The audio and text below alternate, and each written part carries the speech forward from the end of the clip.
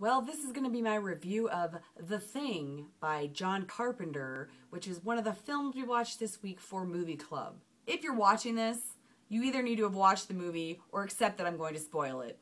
Sorry. There is a group of scientists, and they are stationed in the Antarctic, and they're working at the station. The station's pretty cool. It's got all their sciencey stuff, but it's also got like a ping pong table and a TV with a VCR so they can watch reruns of things that actually happen in the real world because they are kind of disconnected.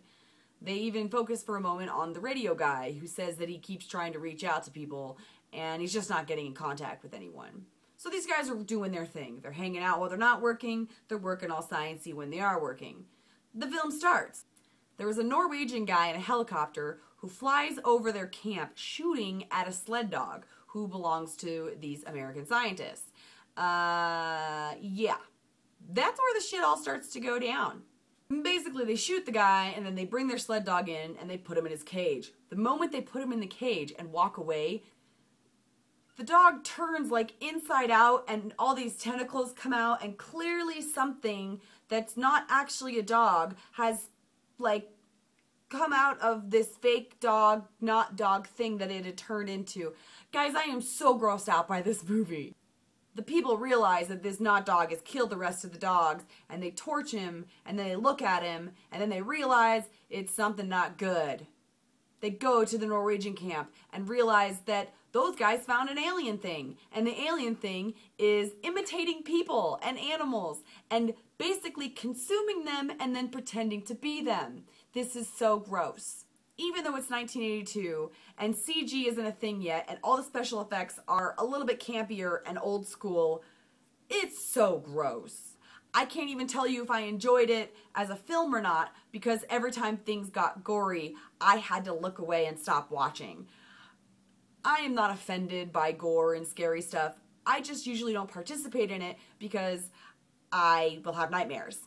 I will not be watching it again. I did not enjoy it. I felt like this is basically torture because it grossed me out so much. If you enjoy special effects that are old school and are very well done, then you'll enjoy this film.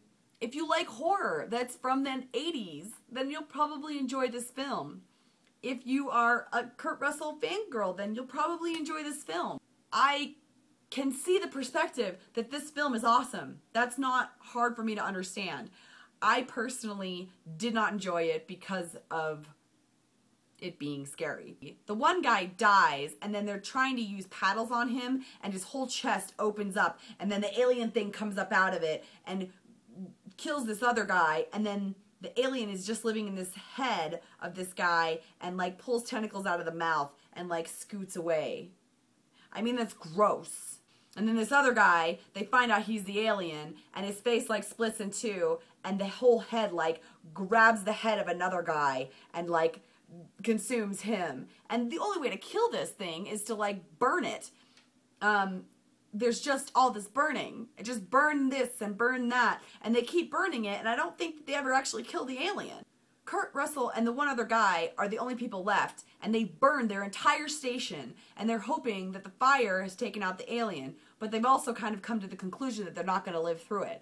And they start having this conversation, and Kurt Russell's kind of smiling, and they're like, What should we do now? And Kurt Russell's like, Well, I guess maybe we should wait here for a while. And he has this look on his face like either he's the alien or he's waiting for the other guy to turn into the alien.